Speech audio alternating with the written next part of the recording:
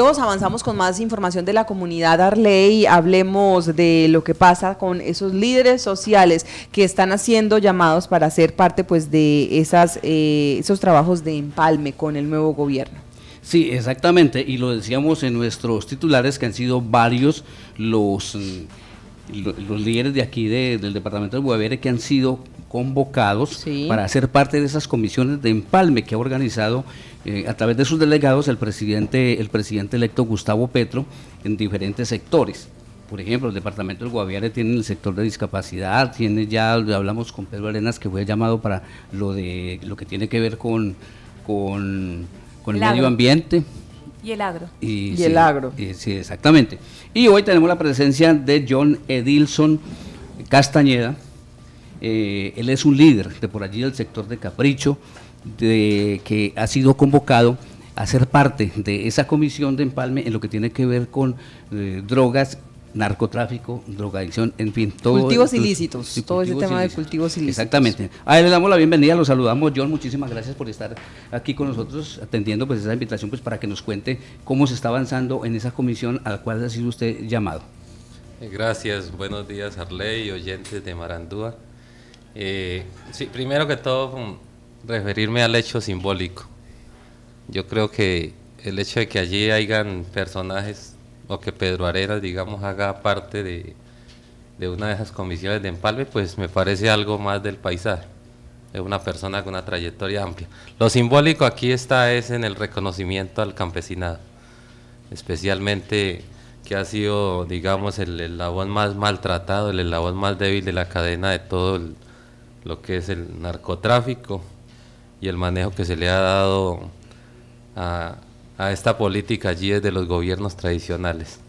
Ese me parece como primer punto ese el hecho simbólico que eh, nos indica inicialmente que este gobierno será un gobierno incluyente y que nosotros estaremos prestos a atender todos los, los llamados y a contribuir a, a la construcción de estas políticas para la transformación de, del país. Bueno, usted la semana anterior ya tuvo la oportunidad de estar allí, ya reunido pues con los demás mm, integrantes de esta comisión y precisamente con la persona que está liderando esta comisión que ha sido eh, delegada por parte del presidente electo. ¿Qué temas se han tratado?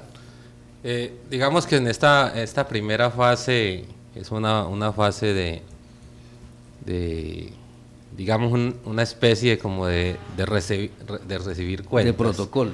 De recibir cuentas, digamos, están recibiendo todos los, eh, los informes por parte de los respectivos ministerios, las respectivas entidades, que no son pocas además, eh, digamos, inicialmente en cabeza del Ministerio de Defensa, el Ministerio de Justicia, el Ministerio del Medio Ambiente, pero algo más complejo que logra uno evidenciar acá es que este problema de drogas y narcotráfico pues tiene incidencia con más de 40 instituciones que la verdad pues eh, cuando uno se da cuenta eh, la atención que se ha dado en, el campo eh, y la cantidad de gente que, que, trabaja alrededor de estas instituciones, inclusive hay hasta dependencias en el mismo bienestar familiar, con una cantidad de cifras alarmantes, con una cantidad de tecnología, con una cantidad de capturas, de herramientas, de, bajas. El Ministerio de, Justicia efectivamente mostraba eh, un potencial y tanta plata que han adquirido. Los mismos generales de las, de, de las fuerzas militares mostrando que efectivamente tenían eh, unas cámaras que a 20 mil metros detectaban si lo que había aquí era un pocillo o no. Entonces, digamos, pero que estas cifras hayan sido dadas gobierno tras gobierno, celebrando la lucha contra las drogas, contra el narcotráfico, y hoy las cifras andan igual que siempre. Entonces, esto, el diagnóstico inicialmente es que esto es una política fracasada y que toca cambiarla. John Edison, ¿a usted quién le hace la invitación, digamos, desde, desde qué instancia? ¿Aquí desde el nivel Guaviare, las comunidades los buscaron o, o de dónde viene ese llamado? Importante la, pregunta. Hay veces que hay instancias que toca buscar a que nos llamen, a que nos vean. Y la importancia de esto es que eh, no hemos llamado a nadie, nos han llamado, pero nos han llamado precisamente porque han habido estudios previos. la Comisión de Drogas y Narcotráfico está a mando de, digamos, a cargo del señor Felipe Tascón, un tipo que fue decano de la Universidad de Vallecaucano, economista, decano de la Facultad de Economía de la Universidad Autónoma en su momento. Eh, Felipe Tascón es investigador, experto en temas de paz, experto en cultivos de uso ilícito, pero experto en, que se ha andado la Colombia profunda. Se ha recorrido el Catatumbo, eh, Tumaco, eh, y pues en ese recorrido por el Guaviare nos conocimos, tuvimos la oportunidad de andar juntos en algún momento, muy poco, y pues quedó con muy buena impresión y no fui yo quien lo llamé, sino que fue él, quien le propuso entonces. Al quedarme dijo que le gustaría que hiciera parte y a mí obviamente en representación del campesinado y de los líderes sociales comunales, pues me honran con ese llamado. ¿Alguien más está del Guaviare haciendo parte de esa comisión o solo usted? Eh, en este momento solamente mi persona. Sí. Y además que, eh, sí, digamos, haciendo parte, soy, hago parte de la agenda ambiental del Meta Caquetá y Guaviare. Sí compañeros también de, esta agenda se reunieron simultáneamente la semana pasada también con la ministra del Medio Ambiente entrante. Y además eh, eh, señalar un hecho simbólico. La ministra entrante sacó en medio de su agenda, eh, en medio de otro empalme paralelo que se llama el diálogo social, sacó en su agenda allí una hora para atender a los compañeros y se fue emocionando tanto con los argumentos y el conocimiento eh, de nuestros compañeros que finalmente decidió cancelar dos citas más que tenía para ampliar y, la, reunión que era para una hora pues duró eh, tres horas, pero eso es eh, gracias a esa argumentación, gracias a ese conocimiento, a, a esa dedicación que han tenido nuestros líderes campesinos sociales allí que realmente lo único que se necesita es que tenga un espacio de un gobierno incluyente para hacerlo. Eh, en este momento ustedes solamente están recibiendo, digamos, un balance, va a ser como una especie de informe, esto es lo que se ha hecho, esto es lo que queda pendiente. ¿Cuáles son esos temas que usted dice en materia de cultivos ilícitos? Hay que tener en cuenta uno, dos temas que no se pueden dejar de lado. Eh, sí, primero que todo, hoy, hoy están precisamente entregando, el equipo técnico está entregando el primer Informe, a corte de 11 de julio, sí. Identificando estos puntos como lo eh, indicó el presidente, los puntos verdes, amarillos, rojos y grises. Eh, pues el primer punto es, primero que todo, que hay que reconocer la historia, ¿no? O sea, no se puede eh, manejar. Lo primero es que se tiene que tener en cuenta que la política se debe hacer desde los territorios y no desde los escritorios. Ese es el primer punto reconocer la, la, historia, que aquí nadie llegó, que nadie siembra la, coca por, por cuestión de, de, riqueza, sino por necesidad en un primer um, espacio. Eh, y esa, ese, ese va a ser, digamos, en lo que a nosotros nos corresponde, es que eso no se, no se, no se salga primero de, de, esas, de esas dos líneas. Luego ya entraremos en, en una fase, eh, digamos, de, las alternativas, porque esto es un tema que va ligado, digamos, a varios puntos. Digamos, siempre como se dijo en el Acuerdo de La Habana, el punto uno debe ir ligado con el punto cuatro. No se puede, aquí en el Guaviare particularmente, las determinantes ambientales, eh, el tema agrícola, digamos, por las condiciones del terreno, eh, por las mismas determinantes, o sea que si aquí no se engranan, digamos, algunos, todos los puntos, que es frente a, cultivos, frente al tema agrícola, eh, el tema ambiental y el tema, digamos, de la paz territorial por los conflictos eh, territoriales. Entonces, es un engranaje que además aprovechar para decir que lo que más le preocupa en estos momentos al gobierno entrante es el entramado jurídico que le deja este gobierno.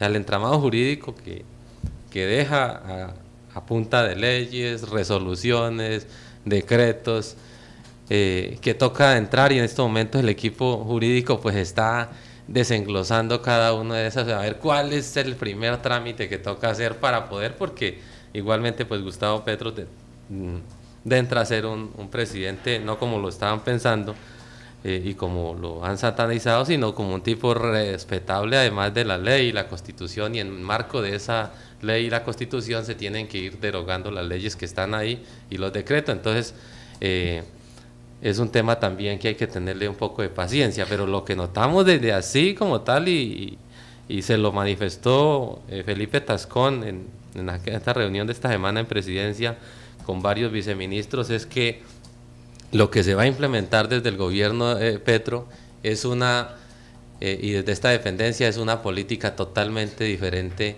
a la que se ha eh, llevado siempre históricamente, en donde más hay diferencias. Sí, ahora, eh, y, digamos, usted viaja hoy para Villavicencio, siguen en esta, en esta comisión, ¿hasta cuándo va a estar esta, haciendo parte, digamos, de este estudio, este tema de empalme? ¿Hasta cuándo lo tienen más o menos programado? Y a partir de ahí, John Edinson, ¿usted se perfila o está en este momento también, eh, había apoyado usted la candidatura de, de William Aljure em, en, el caso de la, de la Curul de Paz y de esta representación en la Cámara de Representantes? ¿Han pensado de pronto en, seguir trabajando de, alguna manera? Eh, claro, el, representante al jure eh, cumple un papel fundamental en este, en este es el representante directo de los, de los municipios PEDET, sí. representante de las víctimas.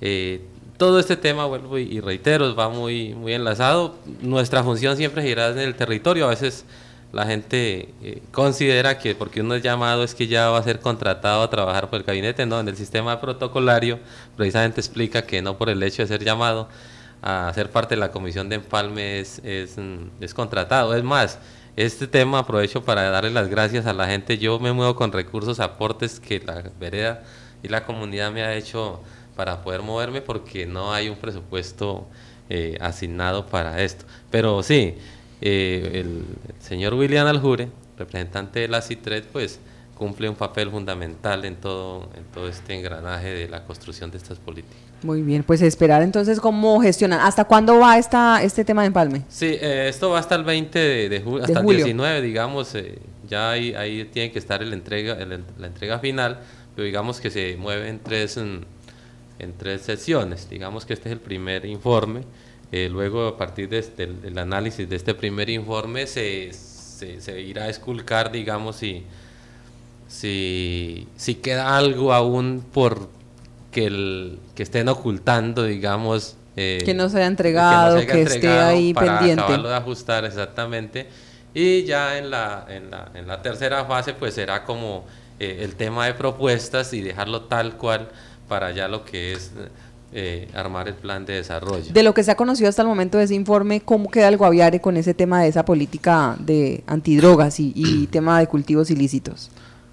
No, pues digamos que, que en estos momentos hacer un análisis... Eh, Muy prematuro. sí, es más, yo estaré, estaré en la próxima semana entregando ya un balance mucho más detallado porque hasta el momento pues digamos que no Están se ha recibiendo todo. Exacto, unos mamotretos de, de, de cifras, pero podría uno decir que digamos en cuanto a a, lo que recibe uno de, digamos en cuanto al en la realidad. digamos eh, hemos recibido digamos un informe de PENISA del orden nacional pero es muy desbalanceado digamos con lo aplicado en el en el territorio. O sea las cifras no no cuadra, entonces ya digamos estaremos desenglosando este... Muy bien, pues este estaremos muy pendientes para poder hacer ese informe y justamente contárselo a la comunidad de cómo queda o cómo recibe en materia de, esa política antidrogas y todos esos programas que se desprenden de todo esa, ese tema. Pues John Edison, muchas gracias por estar con nosotros aquí en Marandúa. Eh, gracias a ustedes señalar esto. Sinceramente, esto es un hecho muy simbólico. Eh, digamos que los empalmes normalmente se han hecho entre amigos, no es algo tan riguroso, es la primera vez que realmente se está haciendo un empalme bien hecho, dicen los que han tenido conocimiento, siempre se han hecho en el, en el Club del Nogal, al fragor de los whiskies. Y a puerta cerrada. A puerta cerrada, nadie sabe, es como entregarle, venga, yo me planteé y ahora cuádrese usted ahí. Eh, esto es mucho más riguroso y es obvio porque es que ahora se viene el cambio, además se vienen los, los, los empalmes territoriales también.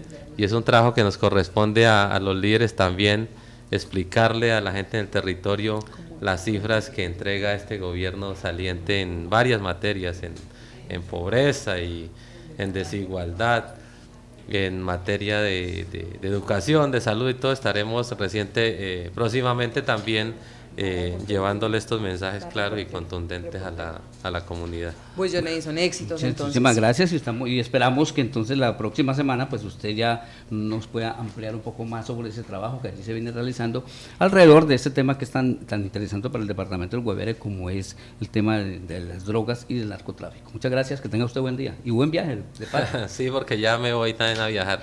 Eh, gracias a Arley, a Marandú y a todos los, Laura, los colaboradores de acá de esta emisora que siempre ha tenido las puertas abiertas. y seguiremos muy pendientes. John Edison,